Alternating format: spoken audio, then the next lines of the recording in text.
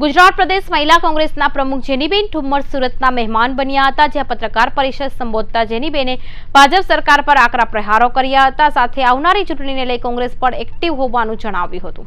ગુજરાત પ્રદેશ મહિલા કોંગ્રેસ પ્રમુખ જેનીબેન ઠુમ્મર બુધવારના રોજ સુરતની મુલાકાતે આવ્યા હતા અને સુરતમાં ભાજપ પર આક્ષેપો કર્યા હતા.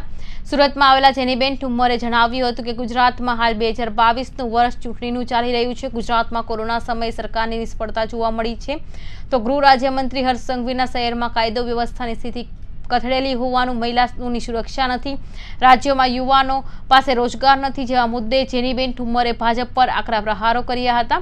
ગુજરાત પ્રદેશ મહિલા કોંગ્રેસ પ્રમુખ જેનીબેન ઠુમ્મર સુરત આવતા મહિલા કોંગ્રેસ સાથે અન્યો પણ તેમને મળવા પહોંચ્યા હતા અને આવનારા ચૂંટણીને લઈને ચર્ચાઓ કરી હતી. અત્યારે બે હજાર બાવીસનું જ્યારે વર્ષ, એટલે ચૂંટણીનું વર્ષ ચાલી રહ્યું છે, ત્યારે ખૂબ બધા ખોટા ખોટા વચનો સાથે ભારતીય જનતા પાર્ટી ફરી એક વખત- મેદાનમાં છે.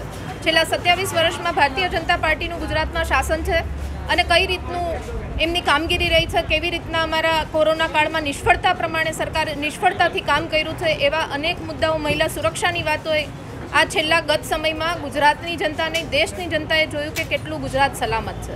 અત્યારે હું માન્ય ગૃહ રાજ્યમંત્રી હર્ષભાઈના વિસ્તારમાં એટલે સુરતમાંથી વાત કરું છું. સુરતમાં જ્યારે અત્યારે અમારી સંગઠનની કારોબારી નિમિત્તે આવી ત્યારે જાણતા ખૂબ દુઃખ થયું કે મહિલાઓ ઉપર અત્યાચાર અત્યારે સુરતમાં એટલી હદે વધ્યા છે કે દિવસે ને દિવસે પરિસ્થિતિ એવી થઈ રહી છે કે મહિલાઓ રાત્રે સુરક્ષિત નીકળી શકે એવી વાત ગુજરાત, સલામત ગુજરાતની વાત કરતા હતા, પણ અત્યારે સવારે નવ વાગે પણ મા બાપ પોતાની દીકરીને એકલી નથી મોકલવા માંગતા.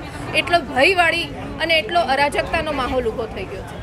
યુવાનોની અહીંયા વાત કરીએ, યુવાનો અરાજકતામાં છે કોઈ પણ પ્રકારે નોકરીઓ ક્યાંય મળતી નથી, બેરોજગારી વધતી જાય છે, સાથે સાથે ડ્રગ્સનું વલણ જે વધ્યું છે, ઘર ઘર સુધી ચિંતાઓ વધી છે કે ડ્રગ્સ એટલી હદે યુવાનોમાં ફેલાઈ ગયું છે, એટલી હદે પ્રચલિત થયું છે કે હવે ચિંતા ઊભી થાય છે કે આ યુવાધનનું આવતા સમયમાં શું થશે.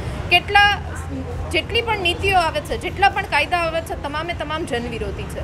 આખી સરકારની માનસિકતા જનવિરોધી છે. જે પ્રમાણે કામગીરી કરી રહી છે, જે પ્રમાણે પગલાં રહી રહ્યા છે, જે પ્રમાણે દિવસે ને દિવસે લોકશાહીનું ખૂન થતું જાય છે, એ પ્રમાણે જન, જનને જાગવાની જરૂર છે. આપના માધ્યમથી કહેવા માંગુ છું, લોકો નહીં જાગે તો લોકશાહીનું ખૂન નિશ્ચિત છે અને આ સરકારને મૂળમાંથી નહીં હટાવીએ તો લોકશાહી નહીં. પણ એક પણ સામાન્ય વ્યક્તિ પોતાનો અવાજ નહીં ઉઠાવી શકે એ પ્રમાણનું વાતાવરણ થશે તો આપના માધ્યમથી વિનંતી કરું છું કે જાગો અને સરકારને મૂળમાંથી ઉખેડીને ફેંકી દો.